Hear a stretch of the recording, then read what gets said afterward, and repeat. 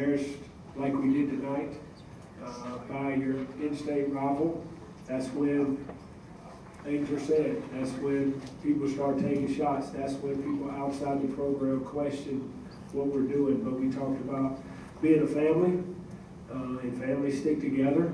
This is when we gotta be tighter than ever.